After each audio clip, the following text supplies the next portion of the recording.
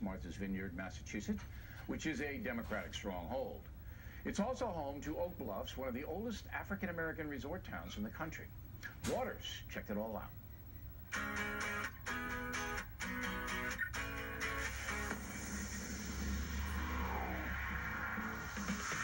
So tell me what Oak Bluffs is all about. Peace and tranquility. I'm here to ruin that, sorry. Oh, yeah, because you're a real hemorrhoid. Don't talk to me anymore. Have you seen any celebrities since you've been down here? Uh, well, besides you, uh, no. I met Vanessa Williams and Spike Lee. Was Spike nice to you? He was not. What does that mean? Obama was here, of course. Tell the president I'm looking for him, okay? Oh, I'm looking for him too. President Obama here back on the vineyard. What's he need all this rest from? You don't think running the free world is not stressful? Running it into the ground, you mean? We are pleased with all his accomplishments, and I think the economy shows how pleased we are. Yeah, destroying the economy is very hard work. He needs to get rest from Congress not helping him out at all. Everybody needs a vacation. Even me? No, not you. All I need is just a quick 10 minutes. Don't forget, fighting climate change is very hard work, too. Oh, climate change is real. I like global warming. More time at the beach. Overall, he's done a pretty good job. Would you agree? There's actually less people working now than there were when Obama took office. That's a very interesting point of view. Every other week he just seems to be on the golf course, and a lot of us have just been frustrated by that. Why don't you get out of there? Give someone else a chance. What do you really like about this president? Hope. Hope for a new president? Okay, come on. I like President Obama because he stuck to his mission. How's that working out? I think it's working out well. Tell me what you think the president's biggest accomplishments have been.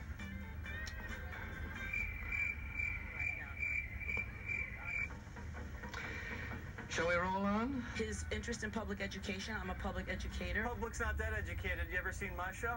No, no, never. From Jump Street, I just thought he was a community organizer. We've seen nothing positive. We have people shooting cops, uh, and he's not coming out and really saying, hey, knock it off. Absolutely. Black Americans have not prospered economically. under Yeah, this we have. Yeah, we have. Well, you have, obviously. Yeah, no, a lot Right. of us have. You try to say we haven't, but we have. Black incomes and black home ownership down under this president. We cannot put anything totally responsibility on him whatsoever. Still Bush's fault, right?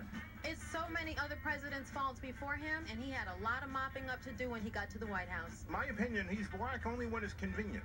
Get into the Chicago neighborhood. How come we've had thousands of murders? And where's his um, talk about that? Do you think the president has been confronted by a lot of racism throughout his presidency? Yeah, racism is a part of America. When you hear his name called by certain people, they say Obama. They don't even say president. That is just so disrespectful. Did you ever say Bush?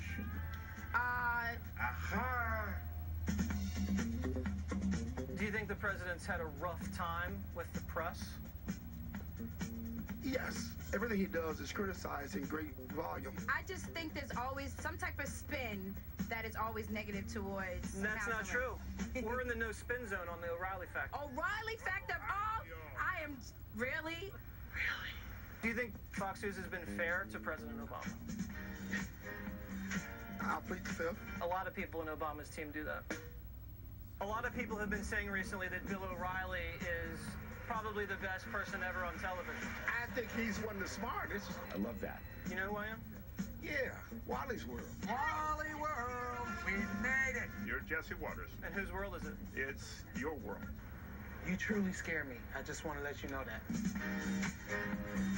Now, the guy with the Trump shirt, did he Yeah. get any jazz walking around Oak Bluffs? I asked him, that? he said no threats. I can't believe you haven't congratulated me. I found the one black Trump supporter on Martha's Vineyard. Well, it wasn't hard. He had the Trump shirt. I shirt. know, I know. I mean, come on. But he, they were treating him yeah, he was respectfully, very right? well treated. And the other woman made a very good point.